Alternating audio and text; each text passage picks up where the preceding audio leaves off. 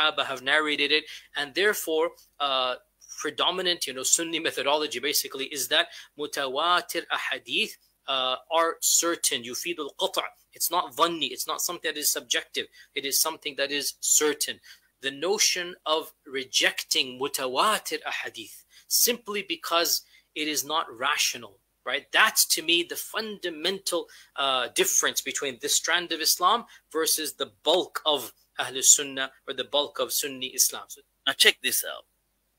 What does the hadith say at the end? When there's utter destruction how will this be brought back? Then allah will now i have to translate this so brace yourselves people. Allah will send there's a fluid from beneath the arsh which will ejaculate like the sperm of men.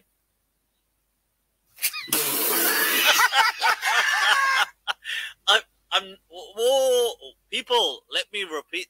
Look at it for yourselves.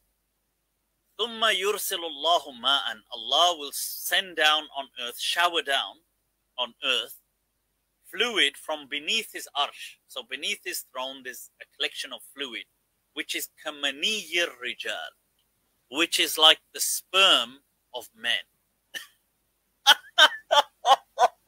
this is going to shower down on the globe. And what's going to happen is this is going to then give birth to uh, to once again life. So sperm So for that, people, I had to had to yeah. So.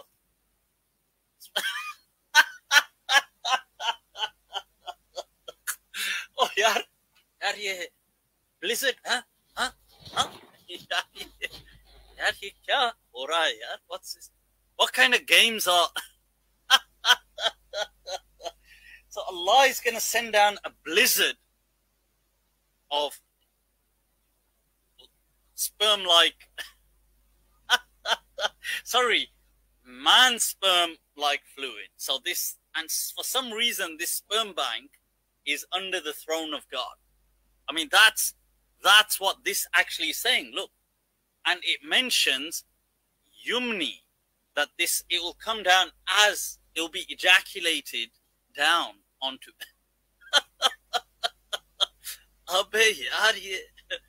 what on earth is going on?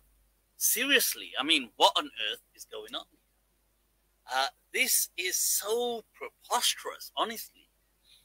Far from being illogical, this is completely logical. So all of these small issues of, you know, how about this and how about that, it's not strong enough to reject the mutawatir ahadith about the coming of Isa ibn Maryam. Man, honestly, I don't. Then they say, why can you question this stuff? How can we not question? How can we not question it? I mean, there's bloody sperm blizzards that are happening, and we got to kind of watch out for God knows showers of sperm coming down, and there's got to be I don't know sperm banks up there under the throne of God. They bring a whole bunch of rational uh, objections, right? That these reports don't make any sense. Uh, why this? Why that? I mean, how does this stuff seriously? How is this not questionable? Uh, we can say that the Quran strongly suggests, the Quran seems to have a very strong indication that uh, Isa is coming. However, it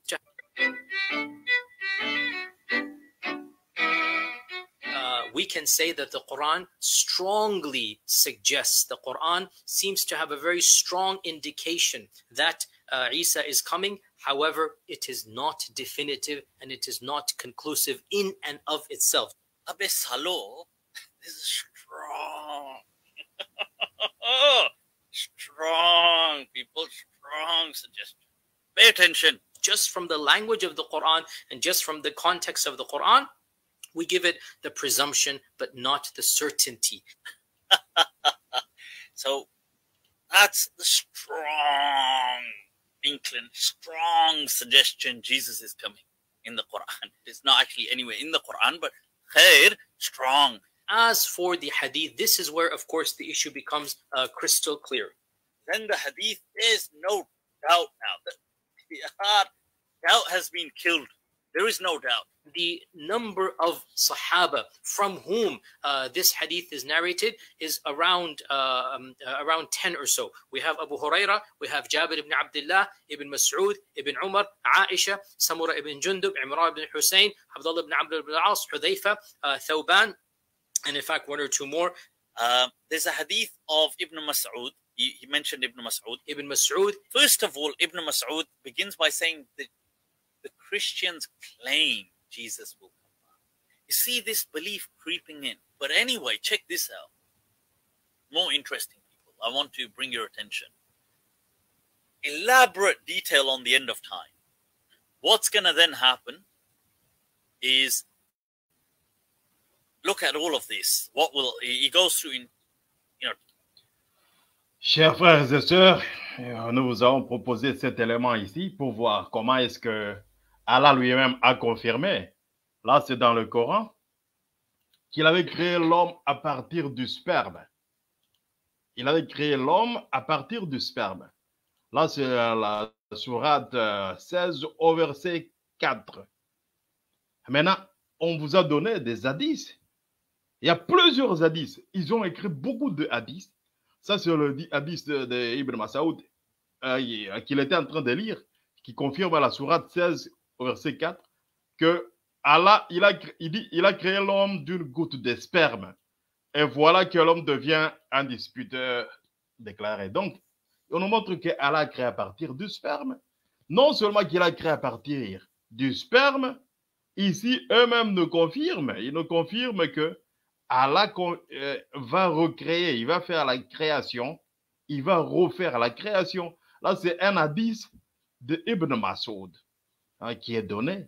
Il y a plusieurs euh, euh, personnes qui ont raconté ces hadiths, on vous a don- donné même le numéro, qui confirment que Allah va recréer le monde à partir du sperme.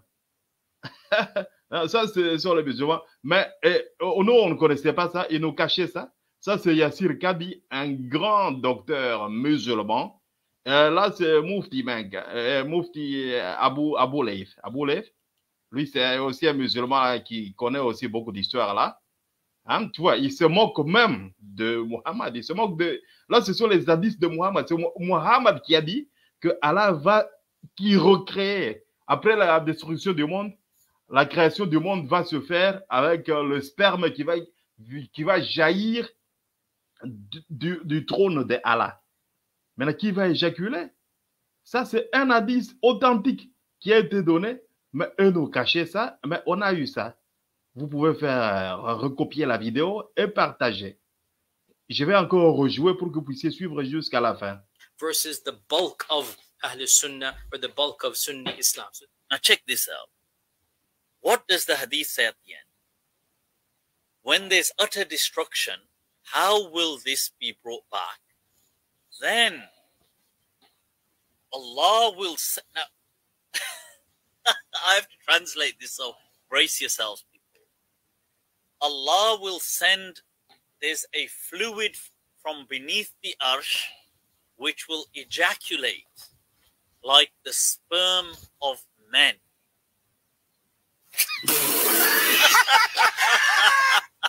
I, I'm whoa, people. Let me repeat. yeah, Look at it for yourselves. ثم يرسل الله ماء. Allah will send down on earth, shower down on earth, fluid from beneath his arsh. So beneath his throne, there's a collection of fluid, which is kamaniyir rijal, which is like the sperm of men. this is going to shower down on the globe, and what's going to happen is this is going to then give birth to uh, to once again life. So sperm.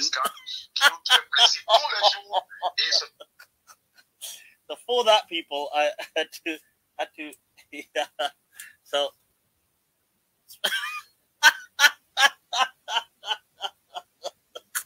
oh यार यार ये blizzard हाँ हाँ हाँ यार ये यार ये क्या हो रहा है यार what's this what kind of games are so Allah is going to send down a blizzard of sperm like sorry, man sperm like fluid. So this, and for some reason, this sperm bank is under the throne of God. I mean, that's that's what this actually is saying. Look, and it mentions yumni that this it will come down as it will be ejaculated down onto.